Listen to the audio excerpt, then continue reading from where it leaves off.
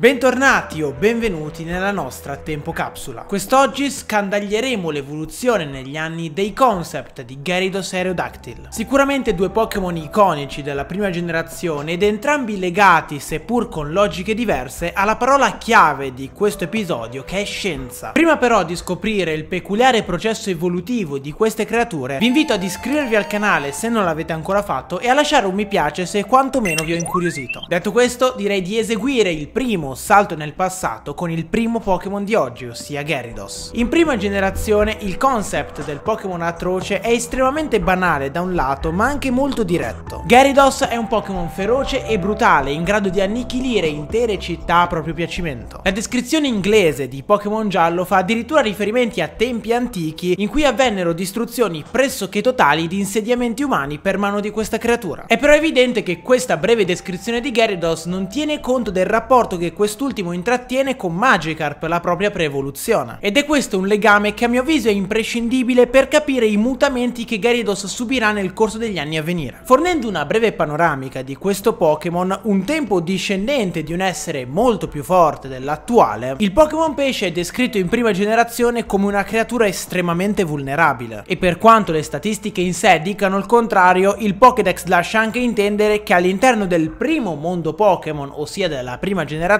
Magikarp sia di fatto la creatura più debole esistente, facendo particolare riferimento molto probabilmente alla sua mossa al tempo peculiare, ossia Splash, che di base non fa nulla. Ora sul fatto che anticamente si dica che questo Pokémon fosse più forte c'è poco da dire, anche perché essere più forte di Magikarp vuol dire tutto e vuol dire nulla. Ciò nonostante più avanti nel video avremo degli elementi quantomeno utili per abbozzare una teoria riguardo alla questione. Ciò che però attualmente mi interessa è mettere in luce il fatto che in prima generazione generazione, il passaggio dalla creatura più debole del gioco ad una delle più forti ed un passaggio immediato che non coinvolge in alcun modo una forma evolutiva intermedia, possiede delle connotazioni fortemente magiche. Non solo per il nome Magikarp che richiama direttamente la magia in sé, ma anche per la fonte da cui trae ispirazione questa linea evolutiva. Gyarados e Magikarp, come forse saprete, sono ispirati ad un'antica leggenda cinese secondo cui una carpa attraversata una cascata sarebbe stata in grado di divenire un drago. A significare spiegare che anche il debole, affrontando enormi ostacoli, è in grado di ambire alla forza. Questo racconto è particolarmente ricalcato da Magikarp stesso in Pokémon Snap, dove si dovrà fare in modo che il Pokémon attraversi una cascata per far apparire Gyarados nel gioco. Ora, chiaramente per Magikarp l'ostacolo della cascata è metaforico, di base gli ostacoli effettivi sono le lotte che dovrà intraprendere un Pokémon così vulnerabile. Ma il punto è che in prima generazione non c'è alcun tipo di spiegazione scientifica riguardo alla sua evoluzione, e il processo è totalmente totalmente relegato alla sfera della mitologia. È però già dalla prima generazione che le cose iniziano a prendere una piega molto particolare. Qui non faremo riferimento al Pokédex, ma alla trama di Pokémon Oro, Argento e Cristallo. Come è noto infatti al Lago Dira ci imbatteremo in un Gyarados Shiny, la cui colorazione ricalca il pattern presentato da un Magikarp comune. Ora è chiaro che Gyarados Shiny sia frutto dell'evoluzione di un Magikarp Shiny, ma ciò non toglie che le peculiari tonalità del Gyarados Shiny siano un simbolo. Quel Gyarados infatti, come verosimilmente e tanti altri, è frutto di un'evoluzione forzata da parte del Team Rocket nei confronti di un Magikarp, avvenuta mediante l'utilizzo da parte dei primi di onde elettromagnetiche che hanno fatto sì che si provocasse una mutazione anomala nel Pokémon, causandone in questo modo un'evoluzione artificiosa. A questo punto si spiega il significato dei colori di Gyarados Shiny. In quel contesto voleva lasciare intendere che un Magikarp che si sviluppa troppo presto è un Magikarp che mantiene addirittura i suoi colori originari. Tenete per ora tutta questa questione da parte, perché più avanti, nello specifico in terza generazione, il tutto acquisirà un retrogusto molto più amaro. Prima di procedere non occorre dimenticarci delle già citate capacità distruttive di Gyarados che in seconda generazione per la prima volta si associano al tema della guerra. Il Pokédex di Pokémon Oro ci informa infatti che anticamente durante i conflitti umani Gyarados appariva di punto in bianco seminando attorno a sé una distruzione priva di raziocinio. Il fatto estremamente curioso e per certi versi ancora implicito implicito di questa descrizione è che Gyarados di fatto non pare schierarsi nel conflitto. In Pokémon Argento Gyarados non si placa fino a quando non ha demolito ogni cosa e Pokémon Oro e Cristallo con parole diverse gli fanno eco. Le descrizioni di seconda generazione lasciano allora passare l'idea di una creatura quasi evocata per magia dalla guerra, in linea con l'accezione mitologica del Pokémon che avevamo già visto in prima generazione. Gyarados pare dunque essere attirato in quest'ottica dalla guerra in sé e si comporta come una calamità che si abbatte su sugli umani malvagi. Un topos classico della mitologia, nella quale i maremoti, le tempeste e le malattie spesso si abbattevano a causa dell'ira degli dei. Vedremo poi come questa visione del Pokémon sboccerà più in là nel tempo. Infine la seconda generazione ci lascia con un dettaglio interessante. Si tratta di quello proposto dalla descrizione inglese di Pokémon Cristallo, la quale sostiene che Gyarados appaia durante i conflitti mondiali. Forse qui azzarderei a dire si è peccato di esagerazione, dato che in molte altre descrizioni del Pokédex veniamo a conoscenza del fatto che l'ira di Gyarados si abbatte su realtà addirittura locali. Detto questo, attualmente noi stiamo ragionando su due filoni di sviluppo del Pokémon. La questione dell'evoluzione da Magikarp a Gyarados e il rapporto che quest'ultimo ha con la società umana, e dunque la percezione che quest'ultima ha della sua violenza. Su questo secondo punto la terza generazione non aggiunge nulla di che andando a rafforzare semplicemente ciò che avevamo già visto con Pokémon Oro Argento e Cristallo. Pokémon Zaffiro inserisce il dettaglio secondo cui alcune testimonianze narrano di sfuriate di Gyarados durate addirittura un mese intero, ma parliamo pur sempre di orpelli, di contorno ad un nucleo di concept che era già ben sviluppato. Ciò che invece è tutto fuorché elemento di contorno è ciò che Pokémon Rubino sostiene riguardo al passaggio evolutivo da Magikarp a Gyarados. Secondo il Pokédex di quest'ultimo, quando Magikarp si evolve in Gyarados, le sue cellule cerebrali subiscono una mutazione strutturale, dovuta alla natura selvaggia e violenta del Pokémon. Ora la descrizione italiana è chiaramente posta in maniera errata da un punto di vista meramente logico. È ovvio che non sia la natura di Gyarados la causa delle mutazioni strutturali delle cellule di Magikarp, perché quando quest'ultima avviene il Pokémon è ancora un Magikarp. Semmai è la mutazione delle cellule cerebrali del Pokémon a monte rispetto alla sua evoluzione e dunque alla natura violenta di Gyarados. E infatti la descrizione inglese in merito è molto meno ambigua. Eppure al di là di certe riflessioni, a dirla tutta fini a se stesse, questa affermazione dovrebbe farci riflettere. Soprattutto dovrebbe riportarci alla Godira. Seguitemi un attimo. In seconda generazione sappiamo che Magikarp viene forzato ad evolversi in Gyarados alla Godira mediante l'utilizzo di onde cerebrali che in lui causano una mutazione. Ma noi adesso sappiamo che l'evoluzione avviene al mutare delle cellule cerebrali di Magikarp. Questo ci porta a concludere che ciò che Team Rocket fa alla Godira è semplicemente indurre prematuramente un processo in Magikarp naturale che equivale da un certo punto di vista alla corruzione delle sue cellule cerebrali. Ora è vero che l'evoluzione Magikarp Gyarados è un'evoluzione naturale e non dovrebbe da questo punto di vista intuitivamente rappresentare anomalie, ma è anche vero che un'altra evoluzione naturale è quella da Paras a Parasect ed è comunque orribile. Parliamo in questo caso di un parassita che assume il controllo di un cadavere. Voglio dire, nel mondo Pokémon evoluzioni terribili, frutto di mutazioni quasi casuali da un certo punto di vista, esistono. Dove voglio arrivare con questo discorso? Ancora oggi nella comunità scientifica è acceso un dibattito su quanto le onde elettromagnetiche possano influire per lo sviluppo di un tumore al cervello. È proprio qui che volevo arrivare. Se i nostri ragionamenti sono infatti corretti, uno dei Pokémon più iconici e da un certo punto di vista più amati del brand Pokémon, ossia Magikarp, soffre in realtà di una malattia congenita talmente invasiva da assumere le sembianze di una creatura mostruosa quale è Gyarados. E così in tre generazioni Magikarp e Gyarados passano dalla magia alla scienza e lo fanno come una qualsiasi altra calamità. Un tempo si credeva che i terremoti fossero opera di divinità infuriate con le società umane, così come Gyarados dalle civiltà antiche del mondo Pokémon è visto come una creatura la cui ferocia si abbatte sugli uomini malvagi, sulle civiltà malvagie. Per entrambi però la spiegazione è molto più razionale, più scientifica, più fredda e sotto un certo punto di vista più disumana e disumanizzante. Non c'è alcuna logica divina nell'azione di Gyarados e anzi forse non c'è alcuna logica nell'azione di questo Pokémon, ma come potevano gli antichi sapere dell'esistenza di cellule cerebrali corrotte? Verosimilmente nemmeno sapevano cosa fosse una cellula. Ora tra la quarta e la sesta generazione non viene aggiunto come al solito niente di nuovo ed è ancora una volta la regione di Alola ad aggiungere dettagli interessanti e succosi. La settima generazione infatti mostra la spaccatura tra mitologia e scienza in maniera ancora più lampante se possibile. Gyarados diventa dio della distruzione, i luoghi in cui egli appare sono destinati fatalmente alla rovina. Il Pokémon stesso si infuria con gli abitanti di un villaggio e mette tutto a ferro e fuoco, riprendendo un dettaglio già citato in Pokémon Perla. Ma in realtà queste tre descrizioni sono racconti di mitologia, sono tentativi di spiegarsi le azioni di una creatura così violenta che non hanno nulla di scientifico perché niente di scientifico al tempo vi era. È Pokémon Ultra Luna a ribadire come stiano davvero le cose. La violenza non è indotta in Gyarados dai comportamenti umani, ma dalla mutazione delle cellule cerebrali del Pokémon, di fatto paragonabile paragonabile ad una reale malattia organica. E allora vi avevo promesso ad inizio video che avrei tentato di abbozzare una teoria riguardo all'antichissimo discendente di Magikarp. Alla luce delle scoperte scientifiche riguardanti Gyarados, credo che sia legittimo perlomeno ipotizzare che se l'evoluzione modificando le cellule cerebrali di Magikarp acquisisce una potenza smisurata, allora l'attuale stato di debolezza di Magikarp sia dovuto ad un altro tipo di mutazione cerebrale. Un mutamento magari sì evolutivo, ma in senso darwiniano, compreso nella logica della mutazione della specie, che sappiamo essere un elemento perfettamente presente nel mondo Pokémon. Basti pensare banalmente alle forme Alola, per le quali si parla comunque di un mutamento, ma un mutamento non improvviso e di conseguenza non cancerogeno. E come non citare in conclusione di questa parte di video la mega evoluzione di Gyarados di cui ci viene detto sempre in settima generazione? Se in Pokémon Ultra Luna l'energia delle evoluzioni aveva indotto in Magikarp un tale cambiamento evolvendosi in Gyarados, l'energia della mega evoluzione cancella nel Pokémon ogni possibile barlume di raziocinio, lasciando la creatura in balia dell'unico istinto di distruzione rimastole. E certo, la serie Let's Go tenterà di ridare una speranza a Gyarados, asserendo che quest'ultimo potrà ascoltare e dunque recuperare una certa dose di razionalità un allenatore del quale il Pokémon si fida veramente. Ma restano pur sempre tutte le descrizioni contemporanee a quest'ultima, dalle quali traspare un profilo di Gyarados che non riesco a non ricollegare al Super Saiyan leggendario che è Broly in Dragon Ball. Un essere totalmente incapace di controllare la propria volontà e conseguentemente le proprie azioni, dominato unicamente dall'istinto di distruzione. Se per Broly ciò è da ricollegarsi all'odio verso Goku e ad un passato ed un'infanzia tumultuosa, Gyarados purtroppo deve questa sua condizione alla mutazione del proprio DNA e contro le mutazioni genetiche risulta difficile credere che basti un allenatore in gamba per vincere la scienza. Ho come l'impressione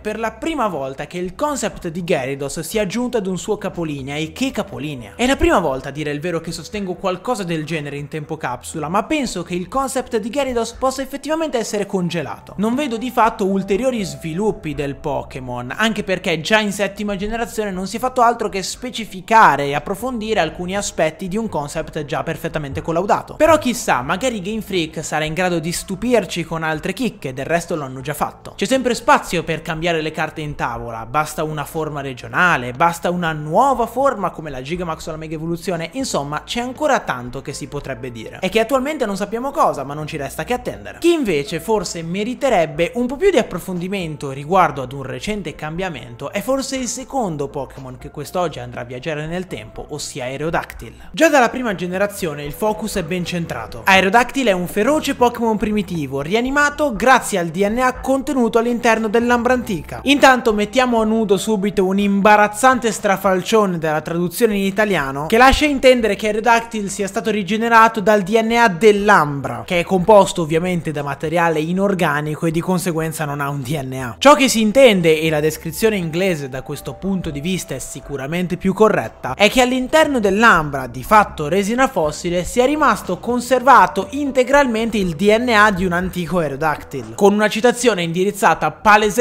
a Jurassic Park, e in particolar modo al primo Jurassic Park, all'interno del quale i dinosauri vengono ricreati esattamente allo stesso modo. Curiosamente però, almeno per ora, i dinosauri non vengono in alcun modo citati nelle descrizioni Pokédex di Aerodactyl, che si limitano a darne le descrizioni che abbiamo precedentemente fornito. L'unica opera a citare i dinosauri è un'opera che già conosciamo su Tempo Capsula per avere in un qualche modo anticipato i tempi. Sto parlando di Pokémon Stadium. Questa cosa di non citare i dinosauri subito in prima generazione per Aerodactyl potrebbe sembrare un qualcosa di contorno, ma a mio avviso presenta anche degli spunti molto interessanti. Se infatti la seconda generazione non aggiunge di fatto nulla al concept di Aerodactyl se non per delle descrizioni di contorno che ne determinano meglio il comportamento, come i versi acuti e le ali spiegate in volo, è invece la terza generazione a riprendere il sasso già lanciato da Pokémon Stadium anni prima, affermando in Pokémon Rubino e Zaffiro che Aerodactyl risale all'epoca dei dinosauri. La cosa è curiosa per un motivo particolare. Sappiamo, e su questo canale ne abbiamo già parlato, che a dispetto di un periodo iniziale, nel tempo The Pokémon Company e dunque Game Freak ha cercato sempre più di distanziare il suo mondo dal mondo reale e conseguentemente ha tagliato ogni riferimento a luoghi geografici del nostro mondo e parallelamente agli animali. Per fare un esempio particolarmente illuminante, in prima generazione di Lickitung si dice che la sua lingua può estendersi come quella di un camaleonte fonte e ad eccezione del remake di Pokémon Verde, Pokémon Verde Foglia e Rosso Fuoco, questo dettaglio scompare per sempre dalle descrizioni del Pokémon e la motivazione è condivisibilissima nel momento in cui in un mondo si sostituiscono di fatto gli animali con i Pokémon e dunque citare i primi sarebbe un controsenso. Eppure, ciò nonostante, con Aerodactyl avviene l'opposto. Se in prima e in seconda generazione il collegamento con i dinosauri, pur evidente, rimaneva implicito e relegato alla sfera del citazionismo, in terza generazione queste creature, ossia i dinosauri, vengono integrate nel mondo Pokémon con delle descrizioni che li citano, in maniera fortemente controcorrente rispetto alla tendenza, tanto che addirittura in settima generazione l'elemento rimarrà presente. Dopo il canonico vuoto cosmico, dalla quarta alla sesta generazione, che pur sempre mantiene in auge la tematica dei dinosauri, Pokémon Sole e Luna non solo continuano il trend atipico dedicato ai dinosauri, ma descrizione dopo descrizione aggiungono dettagli che fanno parte della nostra cultura dei dinosauri. Secondo Pokémon Luna, nel mondo Pokémon Aerodactyl si è estinto a causa di un meteorite, o almeno così dicono alcune teorie, il che è perfettamente analogo a ciò che comunemente si dice nel nostro dimondo riguardo ai dinosauri. Pokémon Ultrasole afferma che a causa della sua spropositata violenza Aerodactyl, una volta rianimato, ha mietuto delle vittime, forse riferendosi al film Jurassic World, continuazione del trend di Jurassic Park uscito nel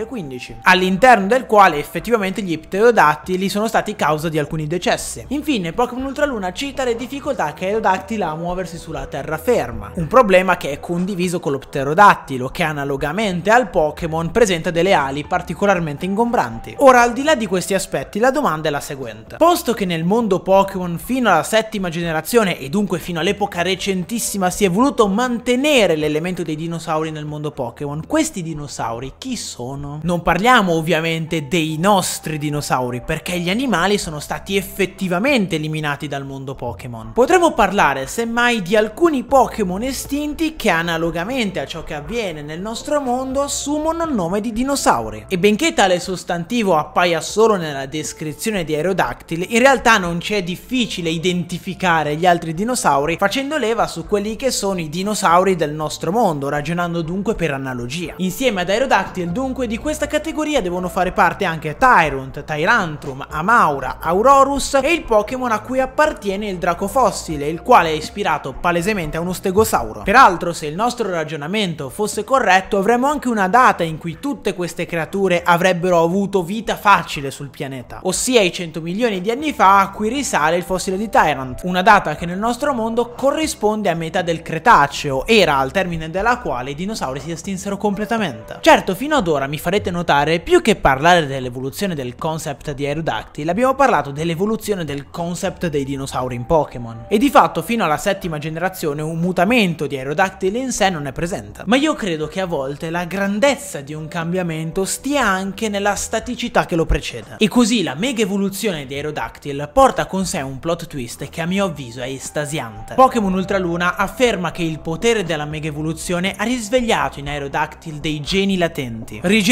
anche le pietre che un tempo ricoprivano il suo corpo. Pokémon Sole da questo punto di vista è più diretto. Mega Aerodactyl è, secondo alcune teorie, la reale sembianza di Aerodactyl nella sua epoca. Come pressoché ogni Pokémon mega evoluto, il fenomeno della mega evoluzione ha causato un aumento della ferocia nel Pokémon. Ma di fronte al cambiamento che abbiamo evidenziato poco fa, ciò a mio avviso non ha praticamente rilevanza. In una generazione, più nello specifico in una manciata di caratteri, è stato smontato un dogma ed è stato ribadito un concetto già espresso con Tyrantrum. Viene intanto meno l'idea secondo cui il tipo roccia dei Pokémon fossili è dovuto al loro effettivo provenire da fossili, dato che se le rocce coprivano Aerodactyl nella sua epoca vuol dire che lo facevano prima di essere un fossile e dunque il Pokémon già verosimilmente quando era in vita possedeva il tipo roccia. Mentre dall'altro lato, indirettamente, grazie alla mega evoluzione di Aerodactyl, si fa strada un concept nuovo, un concept che ho deciso di nominare il concept della rigenerazione incompleta. Tyrant e Tyrantrum, secondo il Pokédex di Pokémon Sole, sono infatti delle rigenerazioni incomplete ed un tempo apparivano in maniera completamente diversa rispetto alle loro versioni attuali. E dopo vent'anni di brand Pokémon abbiamo scoperto ad Alola che lo stesso destino è stato riservato per l'intramontabile Aerodactyl e che solo il potere della mega evoluzione è stato in grado di riattivare quei geni latenti che la scienza non è stata in grado di rinvenire rinvenire. Un potere, quello della mega evoluzione, oltre alle possibilità umane, che non hanno potuto fare altro se non generare esseri incompleti ed imperfetti. E allora, in conclusione, non dovrebbero più stupirci Dracovish, Dracozolt, Arctovish e Arctozolt, dei fossili che questa volta presentano degli errori di rigenerazione palesi, evidenti e voluti. Ed è affascinante tutto ciò. È affascinante come Pokémon sia nato, e lo sappiamo, in una regione che avrebbe dovuto fare della scienza il suo nemico principale, legandosi di fatto come universo in maniera molto stretta ad essa e che tuttavia, nonostante il naufragio di quell'idea originaria, nonostante l'assopirsi di quel progetto in fase di sviluppo, il rapporto tra il videogioco e la scienza sia proseguito tra le righe e nel proseguire si sia evoluto esattamente come a evolversi nel tempo sono i Pokémon che qui trattiamo a tempo capsula. Addirittura quella scienza che in Pokémon rosso e blu scavava e recuperava fossili per riportarli in vita, quest'oggi è diventata anch'essa fossile. Un fossile rinvenuto tramite il data mining di ROM mai uscite al pubblico. Mining vuol dire scavare, è tremendamente ironico tutto ciò. Eppure trovare fossili completi è difficile, quasi impossibile, molto spesso abbiamo tra le mani semplici ossa, denti, corna, piccoli pezzi da inserire in un puzzle che magari potremmo avere già in mente. E così, se la scienza dei Pokémon di sotterra riporta in vita fossili, noi dissotterriamo e riportiamo in vita la scienza dei Pokémon che forse non è mai nata. E lo facciamo attraverso le teorie, lo facciamo attraverso i sogni, lo facciamo attraverso le speculazioni, forse anche attraverso le nostre paure. E tuttavia nel farlo, come la scienza, commetteremo errori, è inevitabile. Perché la scienza è sì qualcosa che spiega, come nel caso di Gyarados, ma è anche qualcosa che nasce, cresce, si sviluppa e giunge a compimento passando per gli errori più grandi dell'essere umano. La scienza è passata per il geocentrismo, è passata per il creazionismo, è passata per la